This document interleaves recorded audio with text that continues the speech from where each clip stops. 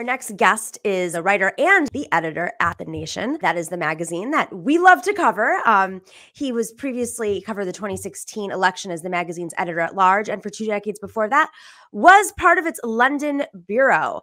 The Nation on Drugs, a fight that we have been fighting forever, the war on drugs. What is the state? What are the ramifications? What? How have Americans been affected? Uh, very excited to have D.D. Guttenplan who has COVID right now. So uh, thank you for joining us. I know that this has been a rough week, but it's you're doing a little bit better, right? I'm doing a lot better and better than I sound. And, okay, uh, good. That's most not, important. Not contagious over the internet. So one thing I have learned during the pandemic is that you can't catch it over the internet. You can't catch it over the internet. A lot of things you can catch over the internet, but not COVID. And also, just to say, it's, it's, a pleasure to be after Stephen Donziger um, who, like you, we have covered, whose struggles we have supported. And it's great to see him out. So, Yes, yes, he's been talk about. I mean, I'm glad that he linked it to the Federalist uh, Society because this is ultimately we have to understand the connections between the the decades long um, goals of the right wing and how it's affecting us today, and that includes uh, you know the the i don't even know how to say it not just the war on drugs but just every single aspect of what came about um, whether it's the border uh, issues of the border or families that have been affected by the war on drugs um, or just the movement of drugs uh, across our borders and of course the imprisonment of folks who've been who've used drugs or dealt drugs. So so what is this this nation on drugs? Um, what, what is your goal with this? Well a couple of things. First of all america has been fighting a war on one form or another of intoxicants since alexander hamilton who started taxing whiskey producers in, in western pennsylvania in order to favor corporate whiskey producers that was called the whiskey rebellion so the government has been intervening in people's choice of intoxicants for a long time. But the reason we decided to do a special issue devoted to drugs is because, in a way, that conventional war on drugs, or at least against marijuana and psychedelics, seems in some ways to be ending. But what's hmm. coming out of it is not a utopia where everybody grows their own, uses their own, turns on their neighbors, has a good time, manages their own risks. What's coming out of it is a, another assertion of corporate power, monopoly power. And it was that intersection of the waning of the overt drug war and the transition to a kind of corporate patent war, corporate power grab, Wall Street power grab. That's where we felt the nation needed to jump in. And also, you know, we can get into this as much or as little as you like. For me, this is, as an aging boomer, something of a personal fight. Why is that? Well, because I used a lot of drugs. I mean, as I, as I say in the, as I say in the editorial, I mean, my kids are all grown now, uh, but when they were small, you know, I dreaded them asking, "Well, what did you do when you were, you know, what did you do in the war on drugs, Daddy?" Because the truthful answer would have been everything, pretty much. Uh, you know, as I write in the Nation, if you could sniff it, smoke it, snort it, uh, I probably did. And yet, you know, here I am, boringly respectable. Uh, you know, the editor of a legacy media publication, mm-hmm. and part of that is dumb luck. I have friends who died of AIDS because of mm-hmm. Infected needles. Uh, I have friends who, you know, became junkies and eventually died of that. Uh, neither of those things happened to me, but they might have. Mm-hmm. And uh, and also a white privilege, right. because you know, as we write in the issue, the war on drugs was never an equal opportunity war. It was always aimed squarely and mainly at Black America. And you know, John Ehrlichman confessed this some 20, 20 years after the fact, but it was always aimed squarely at Black America and at the counterculture Mm-hmm. And okay, you know, maybe I was a participant in the counterculture in my own small way, but you know, the risks that I was running as someone who was using drugs, even occasionally dealing drugs, I think I'm past the statute of limitations on that. I meant to check, but if not, I'll take my chances. Um, you know, those were much smaller than if I were, you know, a black person in urban America at the time under federal, state, and city surveillance, and for whom the drug war was a tool in keeping communities controlled and contained. So you said that at the start that we've we've sort of you know transitioned away from um, the war on marijuana and psych- psychedelics. Uh, marijuana, in particular, has been um, such a, a, tool of going after Black and Brown communities. Does this mean that the right wing is not as interested in going after, at least from criminal justice perspective, Black and Brown communities? I mean, I live in New York, and this is crime. This is the talk of the town right now because of our of our our mayor um, and in a lot of cities around the country you know the right wing is pushing the crime narrative but uh, if marijuana is decriminalized in New York, like what's the vehicle? No, they'll find something else. But so I live in New York too, and in my part of Brooklyn, I don't I don't know whether you've noticed this, Nomiki, but in my part of Brooklyn, there were all of these medical clinics that were set up, for example, on Court Street in Brooklyn Heights, mm-hmm. and now they're even though New York has not yet regulated the sale of marijuana. It's legalized or decriminalized, but not yet legal. Right. They've all dropped the pretense of being medical dispensaries and they're ready for retail customers. Now, I don't know whether they're serving retail customers yet, but they are ready. So I don't think, you know, I don't think that the Adams administration or any other administration is going to be able to roll that back. But does that mean that control of black and brown bodies has stopped being a government preoccupation. I wish it were so, but I don't think so. And that's why I make the point in my editorial.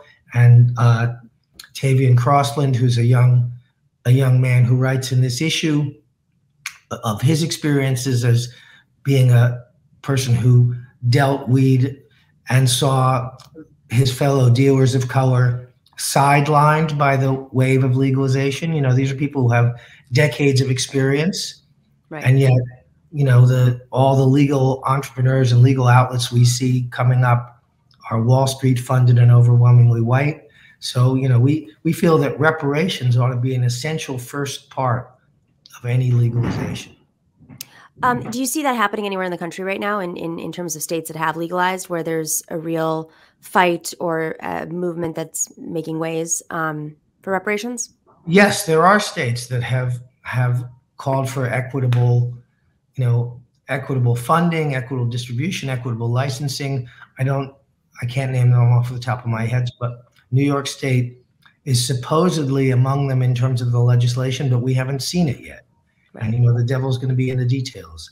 Certainly, New York has the chance to really as it did during the New Deal days under Franklin Roosevelt, to be a real pioneer for justice here, to really say to people and communities, particularly who've been bearing the brunt of the drug war, we're not just going to get off your necks, we're going to help you repair the damage we did. Mm-hmm. That's so what, what other means. What other aspects of society right now, um, you know, are are affected or have been affected by these drug wars that if there is you know more and more decriminalization um, across the country it, it could affect how those communities have been um, essentially you know uh, persecuted. Well i mean there's there's a lot. I mean the drug war was a real catch-all for a whole bunch of bad things. You know in addition to policing black and brown bodies it also committed the us to allying with the most repressive regimes in latin america.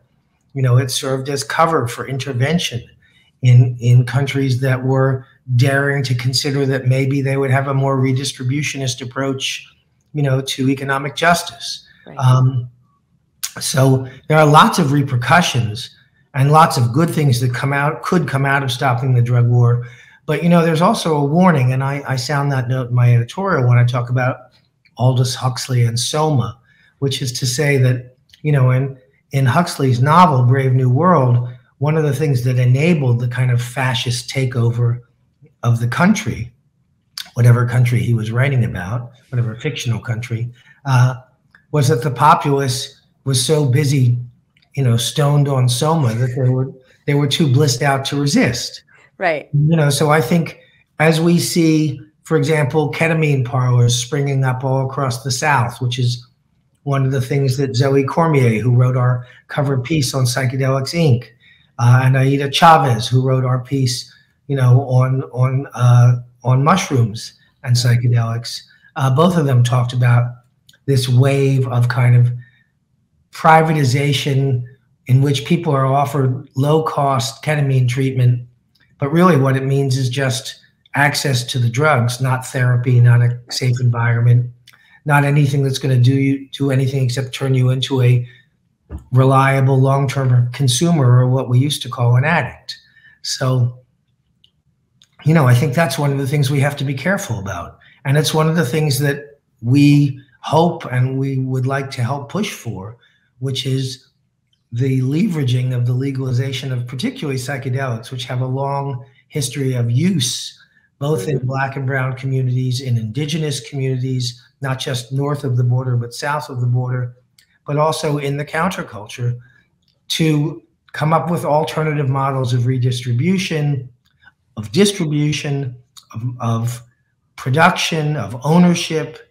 You know, there's a there's a lot of space here for potential innovation politically. That doesn't mean like new shiny corporate logos. It means new ways of relating to each other, new ways of accessing these experiences that don't involve, you know, signing up to shiny corporate brands.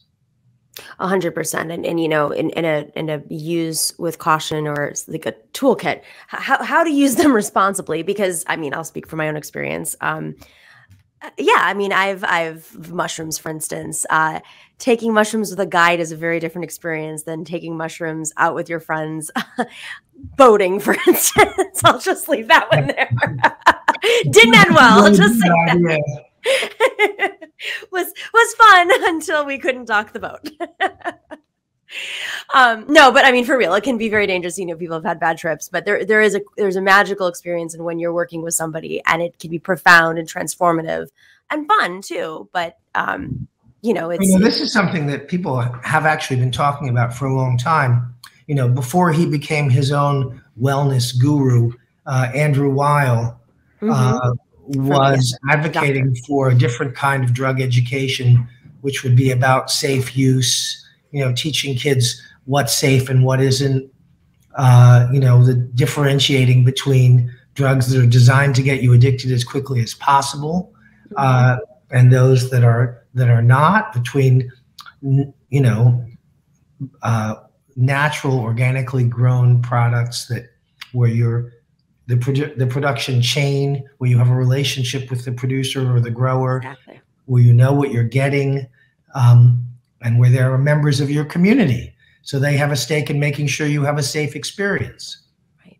Right. You know, th- those are all things that we could be teaching kids in school in the same way that we teach about, you know, how to safely drive a car and also you know it's it's not in the corporation's interest to do that um, which is very dangerous i think that if if they're if if corporate interests are getting involved in the drug industry, especially psychedelics, um, it can absolutely affect somebody's life. I mean, it's not uh, smoking a little weed here and there is one thing, but no, know, these are strong drugs. These, these can, can be life changing experiences in bad ways for people, particularly if they don't know what they're doing, they don't know what they're getting, and there isn't somebody responsible on hand to help if they need it. Absolutely. Right. I mean, you know, the, the nation we did not say turn on, tune in, drop out on the cover of this issue. Um, you know, we talked about the transition from head head shop to hedge fund as something that we should all be worried about. A hundred percent. Um, really fascinating. I, I, know you're sick, so I don't want to uh, exhaust you right now, and so you have a smooth recovery. But um, would love to have you back on. We can talk more about this, and and I'm sure we'll have some of uh, the writers um, at the Nation discuss their individual pieces because there's so much here. But folks, definitely go check it out. Uh, I think probably most of our audience cares about this issue. If I'm going to be honest, that's good you know, you can you can check out the issue and other coverage of this issue on www.thenation.com. And you know, it's always a pleasure to talk to you, Nomiki. Thank care. you so much, Don. Take care and feel better. Thank you. If you're not already a patron, make sure to join us at patreon.com slash the Nomiki Show. You can get a mug, a sticker, a bag, uh, lots of stuff coming our way.